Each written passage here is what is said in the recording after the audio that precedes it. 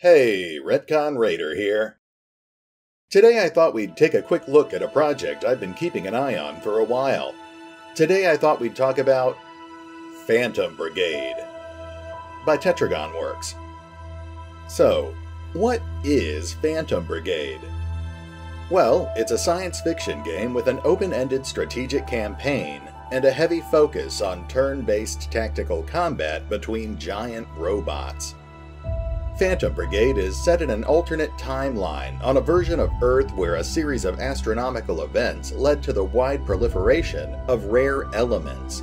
These rare elements led to the rapid progression of technology, including the creation of man piloted combat robots known as walkers. The campaign revolves around a small country that has been invaded and occupied by a much larger neighboring force, which is intent on exploiting their resources.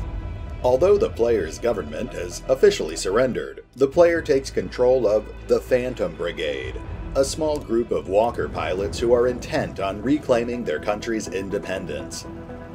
Although specific details are scarce, the developers have stated that different territories will each have different resources that can benefit the player's forces, such as cities, military installations, and manufacturing facilities.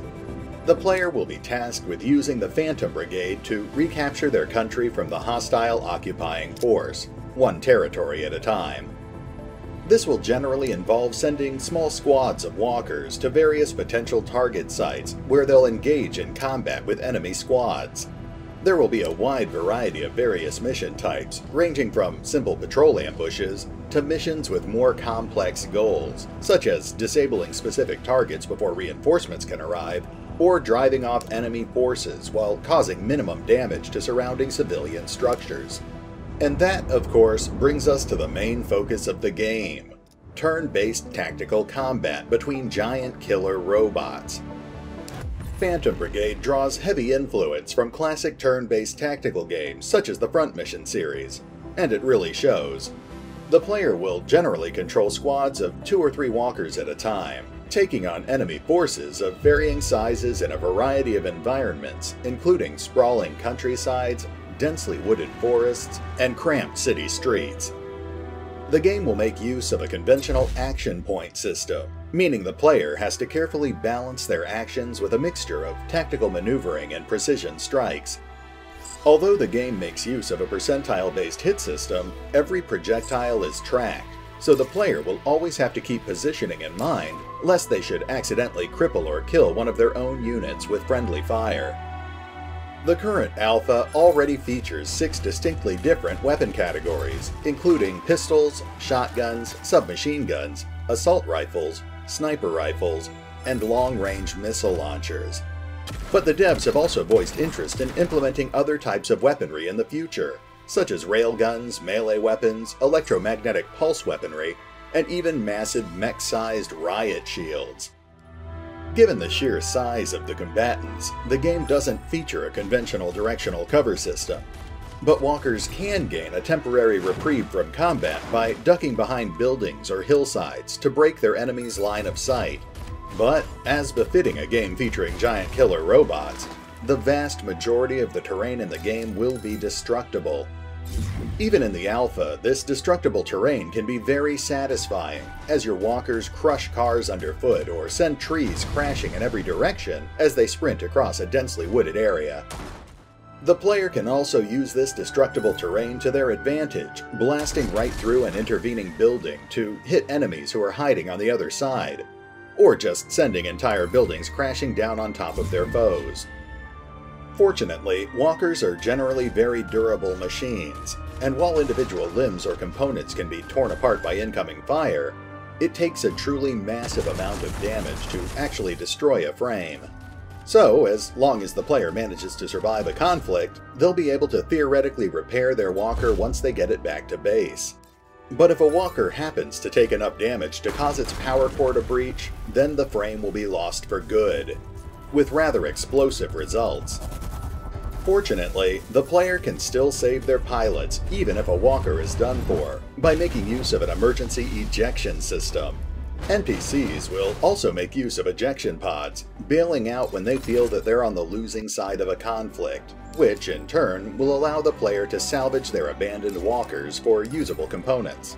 But over time, surviving NPCs will remember their encounters with the player, gloating over past victories and swearing vengeance for past defeats.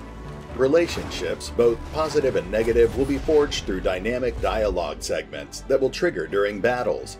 And over time, the player may find themselves being plagued by recurring foes. Between battles, the player will be given the chance to repair and refit their walkers, swapping out components and trying out new builds.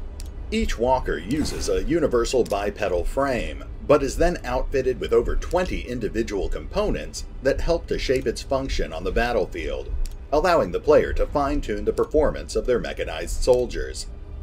These components can all be damaged or destroyed during combat, and the player will have to adapt quickly when battle damage knocks out vital internal components such as arm motors or targeting sensors. The game will also feature a fairly robust customization system, allowing the player to change the colors, materials, and camo patterns of their individual walkers. The currently implemented system allows the player to choose from 37 different colors, which can be applied to individual limbs or to the entire mech at once. And in the future, the developers are also hoping to implement color shaders. Overall, Phantom Brigade is shaping up to be a rather ambitious game, but the current alpha build clearly shows that the developers at Tetragon Works are up to the task. They've been making daily progress on the current build, and they appear to be very proactive when it comes to interacting with their fans on social media. They've also expressed strong support for the modding community, and have stressed that they're building the game with mod support in mind. The game will definitely be releasing on the PC platform, likely through Steam, and the developers have also mentioned the possibility of bringing Phantom Brigade to select consoles. While the developers are hesitant to commit themselves to a specific release date, the current rough estimate for the game's full release is sometime in 2018. But for those who just can't wait that long, you can visit Tetragon Works' website and sign up for the official newsletter. This will keep you up to date with the latest news about Phantom Brigade and give you the chance to participate in future closed beta tests. Personally, I think the game already shows a lot of potential, and I've already had a lot of fun testing out the current alpha build of the game. This is definitely another project I'll be keeping a close eye on, and I can't wait to see how the game evolves as it gets closer to release. But for now, this is Retcon Raider, signing off. Thanks for listening. Oh, and remember, although I do love talking about Phantom Brigade, you can find out more about the game by visiting the official website or the official YouTube channel. Links are in the description.